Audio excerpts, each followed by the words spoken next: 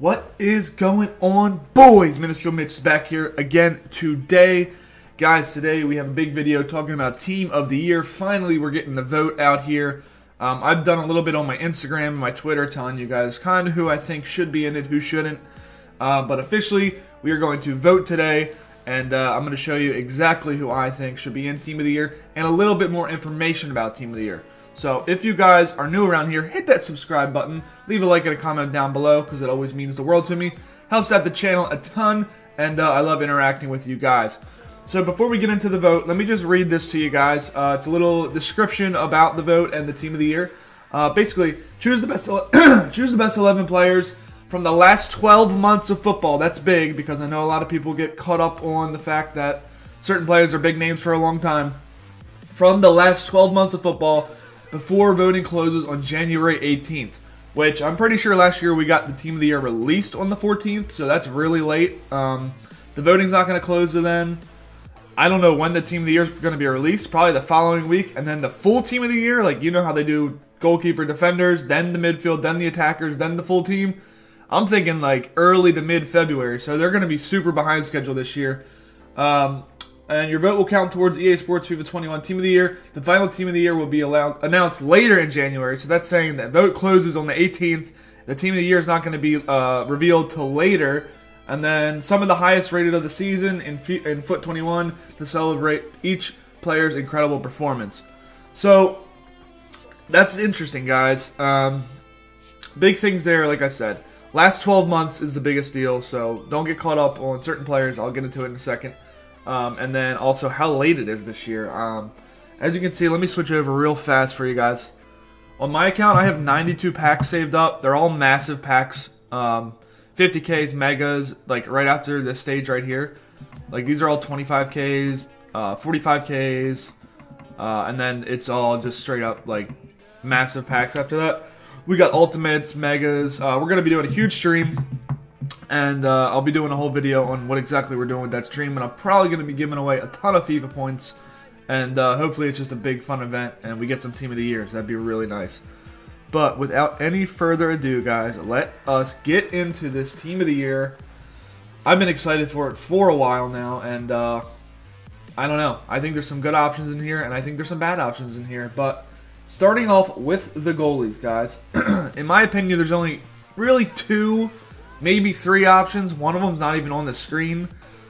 Yes, I might be a little biased, but I watched every single game this year. Szczesny was an absolute unit between the sticks this year.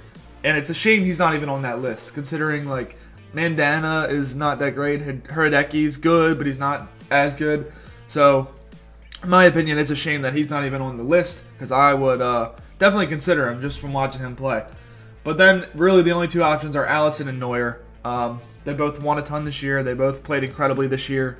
Um, but in my opinion, they won everything you, there is to win. You got to give it to Neuer this year. Uh, there's really just no discussion about it. He was absolutely, essentially flawless all year, and uh, yeah, there's just there's no one else to vote for in my opinion.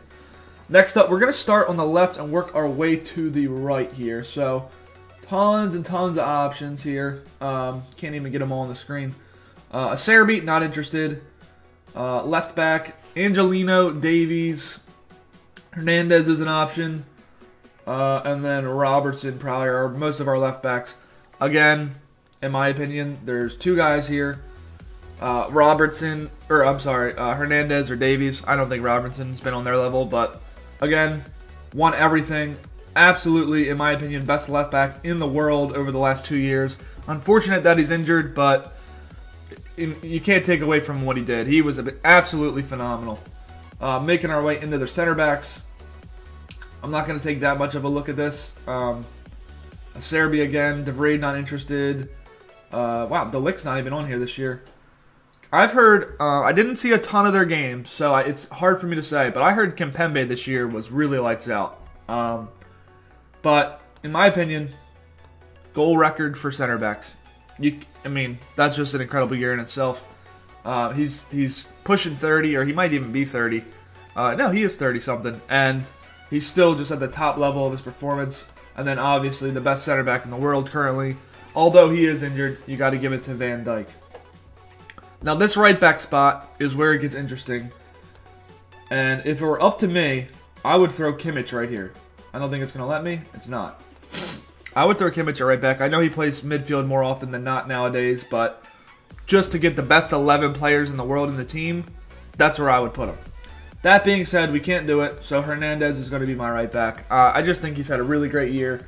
Um, Milan lost to the boys three to one yesterday for the first time since March 2020. They lost a game in the in the league, uh, which is just incredible. Um, so, in my opinion, he's been one of the best, and he's French. You know, they've won a lot of stuff nationally as well. So, that's just in my opinion who is taking my. I guess we're gonna give him a left back card, but we'll throw him in that uh, defensive four. Uh, next up, as I said, Kimmich. Already discussed him. I just think he's been phenomenal. Uh, they won absolutely everything. He's been playing lights out. Um, and I just think he's one of the best 11 players in the world. There's no way around it. Next up, a player who has come in, taken Man U from essentially a joke to somehow getting things together finally. They are tied in first in the league. Uh, unfortunately, they just lost to City in the uh, some cup final, but he still just made such a difference. Scored a ton of goals, got a ton of assists, and single-handedly, in my opinion, just pretty much turned Man U around. So I don't think you can take that away from him. He's been playing absolutely incredibly over the last year. Uh, and then there's a ton of players here. Son, I don't agree, should be in the center mid category, uh, but he's had a hell of a year. He's, I mean, Son, this is tough. I, I, actually haven't decided on this one, guys. So I'm gonna I'm gonna decide this right here with you guys. Uh, obviously, De Bruyne is a very high level player. That being said, they haven't won a ton of stuff this year. Um, they're not that high on the table at the moment. They did just win a cup against Manchester United. Uh, and then there's Henderson, obviously, as well, who was just most consistent. He's going to get in there for sure. Team of the season, most consistent, like, no doubt in my mind. But is he good enough to make team of the year? In my opinion, no. Um, I, it's between Son and De Bruyne, and I think I'm going to go De Bruyne just because of the midfield aspect. Um, I just feel like he holds it down, brings more to the team. Son's obviously a great attacker and uh, a really great player, but I, I, just feel like De Bruyne does more for his team. Moving into the strikers, guys, this is where there's a lot of controversy. Um, I'm going to tell you right now, Messi isn't even close to my team of the year. I'm pretty sure almost every guy on this list has more goals than him this year, and they haven't won uh, a goddamn thing in the last year. So cut out of my team of the year. Sorry to say. I know you guys, a lot of you are Messi fanboys, and I've been getting a lot of hate on Instagram for it. He's just not even close to my team of the year, in my opinion. Um, Ronaldo, 30 goals in the league this year. In actually in 2020, 30 goals in the league. Um, he's already scored a couple this year, so absolutely in there for me. Uh, no question in my mind, he's got to be in that team. Uh, next up, we have Lewandowski, who I don't. Uh, he's in the 50s with goals this year absolutely just scores almost every game, won every single league, Europa League, Champions League, everything. Just absolutely dominated. So you can't even question Lewandowski's uh, placement in the team.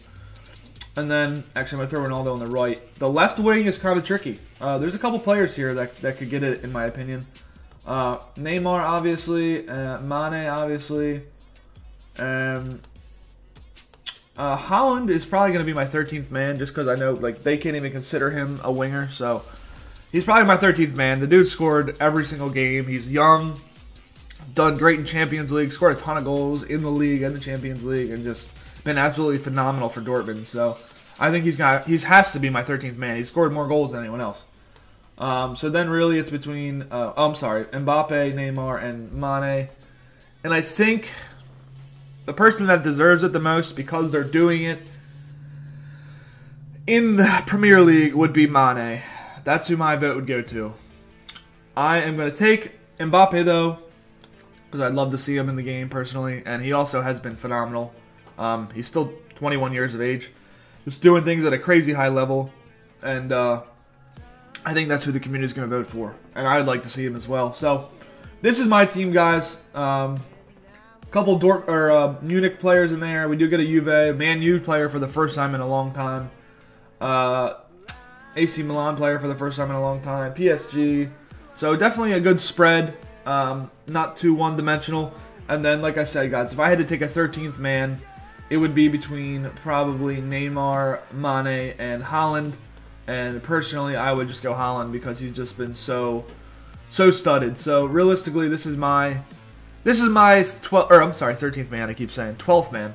Um, this is my team right here. I don't know what you guys think. Let me know in the comments down below. But I think this is pretty foolproof and probably pretty unanimous. I know some of you guys might vote Trent, um, and some of you probably will go Messi just because you think he deserves it. I personally don't. This is my squad. Let me know what you think in the comments down below. But that is it for today, guys. If you did enjoy the video, hit that subscribe button, leave a like and a comment down below, and I will see you all next time. Thank you all so much.